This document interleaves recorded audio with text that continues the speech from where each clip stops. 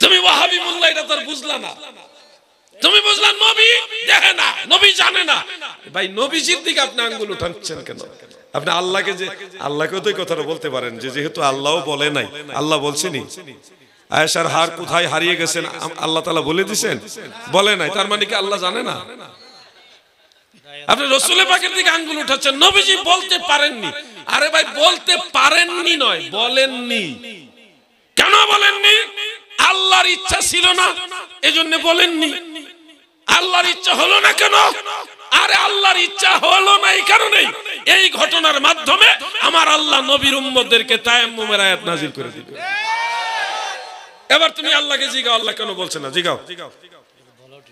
কথা বুঝতে পারছেন? এরা বনি ইসরায়েলের মতো বারবার প্রশ্ন করবে, এটা নালে ওটা ওটা নালে ওটা। ওয়াহাবিদের স্বভাবে এটা। তারা এমনি না দলিল দিতে পারবে না। কিন্তু যুক্তি দিয়া এইটা এমনি হইলে এইটা হইল না কেন, এইটা হইলে এইটা হইল না কেন, বনি ইসরায়েলদের পুরা স্বভাবটা ওয়াহাবিদের মধ্যে আছে। বিসমিল্লাহির রহমানির রহিম আসসালামু আলাইকুম। প্রযোজনা ও পরিবেশনায় Ullash Islamic asset products, royal plaza, দ্বিতীয় তলা, সিডিএ মার্কেট, আমতল, রিয়াজউদ্দিন বাজার, চট্টগ্রাম। মোবাইল শূন্য এক সাত এক এক দুই ছয় তিন চার ছয় এক।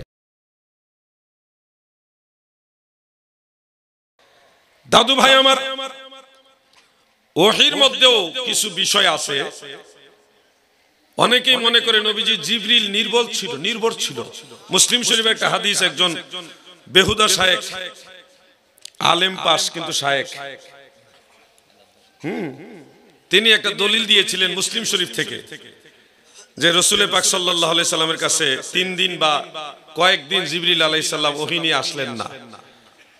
নবীজি না মনক্ষুণ্ণ হয়ে আসেন তো তিন দিন পরে জিবরিল আলাইহিসাল্লাম আসলেন। আসার পরে রসুল পাক জিজ্ঞাসা করলেন, হে জিবরিল, তুমি আমার কাছে আসতে এত বিলম্বিত বিলম্ব করলে কেন? আমি তো তোমার অপেক্ষা ছিলাম। জিবরিল বলল, ইয়া রাসূল আল্লাহ আপনার খাট মুবারকের নিচে একটা কুকুরের ছানা মরে আসিল। এজন্য আমি আপনার ঘরে প্রবেশ করতে পারিনি। যখন আয়েশা রাদিয়াল্লাহু তাআলা আনহা সেই কুকুরের ছানা বের করছে, তখন ঘরে প্রবেশ করেছি, ইয়া রাসূলুল্লাহ, যেই ঘরে কুকুর কিংবা মানুষের তাসবির থাকে, সেই ঘরে আমরা প্রবেশ করি না। এ একটা হাদিস আছে মুসলিম শরীফে। এই হাদিস দিয়ে ওই বেহুদা শাহেক দলিল দিয়েছে, নবীজি, দেয়ালের ওই পারে কি আছে ওইটাও জানে না। আরে বুকা!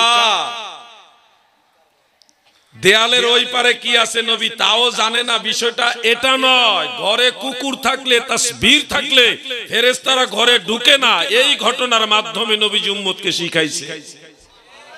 আর দেয়ালের ওই পারে দেখে না, এই কথা আসলে ওই হাদিসের মধ্যে না এটা হলো বেহুদা সাহেবদের বানানো কথা। নবীজি প্রেমের টানে বললেন, জিবরিল গো, আমার কাছে কেন আসলেন আমি তো তোমার অপেক্ষায় ছিলাম। এটা ছিল জিবরিলের প্রতি নবীজির মহব্বত। জিবরিল তখন বললেন, ইয়া রাসূলুল্লাহ, এই এই ঘটনা। নবীজি এই ঘটনা সাহাবীদের কাছে বর্ণনা করে বললেন, যেই ঘরে কুকুর থাকে এবং তাসবির থাকে, ছবি থাকে, সেই ঘরে ফেরেশতারা ঢোকে না উম্মতকে এই মাসালা শিখাইলো। আর দেয়ালের ওই পারে জিবরিল দাঁড়ায় রয়েছে, নবীজি দেখে নাই। বিষয়টা এরকম না, কারণ গোটা দুনিয়াটা আল্লাহ তাআলা আমার নবীজির সামনে হাতের তালুর মতো বানায়া দিছে। নবীজি কিন্তু বলে নাই যে, জিবরিল, তুমি যে বাইরে দাঁড়ায় আছো, আমি তো দেখি নাই। এরকম বলে নাই কিন্তু। যদি বলতো তাইলে ওই কথাটা হয়তো বাস্তবায়িত হিসাবে নিতাম। নবীজি জিবরিল আসার পরে বললেন, তুমি এতদিন আসলে না, এখন আমি তো তোমার অপেক্ষা ছিলাম। এটা হলো প্রেমের ভাষা। নবীজি এরকম বলেই নাই যে, তুমি ওখানে আসলে, আমি তো দেখিনি। এরকম বলেনি। কিন্তু ওয়াহাবিরা ধইরা নিছে, নবী দেখছে না, ওয়ালের ওই পারে কি আছে? তারা ধরে নিছে এটা। হ্যাঁ এটা তো তিরমিজি হাদিস তোমরা যা দেখো না, আমি তা দেখি। আরেকটা হাদিস যেটা প্রসিদ্ধ কারাম, বেশিরভাগ আলেমরা এই হাদিসটা বলে থাকেন। সেটা হলো ইমাম বুখারীর একজন উস্তাদ, ইমাম নুআইম বিন হাম্মাদ, রাহিমাহুল্লাহ। তিনার একটা কিতাব আছে আল ফিতান সেই কিতাবের প্রথম খণ্ডের একেবারে প্রথম দিকে দ্বিতীয় হাদিস। এই হাদিসটা হযরত আব্দুল্লাহ ইবনে ওমর থেকে বর্ণিত। তাবারানির মুজামুল কবিরের মধ্যে হাদিসটা উল্লেখ। ইমাম আবু নঈম ইসফাহানি রাহিমাহুল্লাহ হিলিয়াতুল আউলিয়ার পঞ্চম খণ্ডের 16 নম্বর পৃষ্ঠায় এই হাদিসটা উল্লেখ করেছেন হাফিজুল হাদিস, ইমাম জালালউদ্দিন সুয়ুতি রাহিমাহুল্লাহ খাসাইসুল কুবরার মধ্যে হাদিসটা নকল করেছেন। ইমাম কাস্তালানি মাওয়াহিবুল্লাহ দুনিয়ার মধ্যে উল্লেখ করেছেন। ইমাম জুরকানি শরহে মাওয়াহিবের মধ্যে হাদিসটা উল্লেখ করেছেন। জামিউল হাদিসের মধ্যে ইমাম সুয়ুতি হাদিসটা উল্লেখ করেছেন। এইভাবে, আন আব্দুল্লাহ ইবনে উমার রাদিয়াল্লাহু তাআলা আনহুমা ক্বালা ক্বালা রাসূলুল্লাহ সাল্লাল্লাহু আলাইহি ওয়াসাল্লাম, ইন্নাল্লাহ তাআলা قد رفع لي الدنيا فأنا أنظر إليها وإلى ما هو قائن فيها إلى يوم القيامة كأنما أنظر إلى كف هذه رواه التبراني وغيره إسناده حسان سبحان الله বলুন হযরত আব্দুল্লাহ ইবনে ওমর রাদিয়াল্লাহু আনহুমা তিনি বর্ণনা করেন আমার দয়াল নবী বলেন উম্মতেরা শুনো ইন্নাল্লাহ তাআলা নিশ্চয় আল্লাহ এই দুনিয়াটাকে আমার সামনে তুলে ধরে রেখেছেন।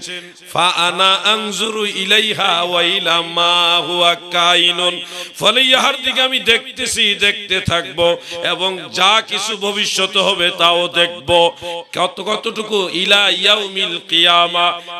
পর্যন্ত আমি সব দেখব কেমন ভাবে দেখব? যেমনটা আমি আমার হাতের তালু দেখি, আল্লাহর নবী বলেন, গোটা দুনিয়াটা আমি এইভাবে দেখতেছি এবং দেখতে থাকব। সুবহানাল্লাহ। এবং নবী যেখানে শব্দটা ব্যবহার করেছেন আংজুরু, ওয়াহিদ এবং এটা মুজারের সিগা।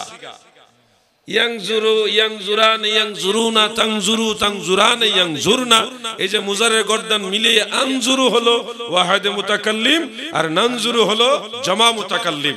অর্থাৎ আনজুরু শব্দের অর্থ হলো আমি বর্তমানেও দেখি ভবিষ্যতে দেখব। দুইটা কাল এটার মধ্যে আছে। আঞ্জুরু শুধু একবার দেখছি, আরেকবার দেখব না, এরকম নয়। বর্তমানেও দেখে, ভবিষ্যতেও দেখে। মাদ্রাসা ছাত্র ভাইরা, দেখতেছি, দেখতে থাকব। এটা মুজারের সিগা ইয়াংজুরু, ইয়াংজুরানে, ইয়াংজুরনা। তাংজুরু তাংজুরানে ইয়াংজুরনা। এই যে, ইয়াংজুরুনার যে একটা মুজারের গর্দন, ইয়াফআল, ইয়াফআলু ইয়াফআলান, ইয়াফআলুনা তাফআলু তাফআলান, ইয়াফআলনা। এই গর্দন মিলাও। নাজারা ইয়াংজুরু। এই গর্দন মিলাও। দেখো, আনজুরু হয় ওয়াহিদে মুতাকাল্লিম। একজন ব্যক্তি বর্তমানও দেখে, ভবিষ্যতেও দেখবে। নবীজি বলেন, আনজুরু, আমি বর্তমানও দেখি, ভবিষ্যতেও দেখতে থাকব। রসুলের হাদিস আল্লাহর নবী বলতেছে, আমি বর্তমানেও দেখি, ভবিষ্যতেও দেখব। আর উনি বলতেছে, নবীজি দেয়ালের ওই পারে কি আছে তাও দেখে না।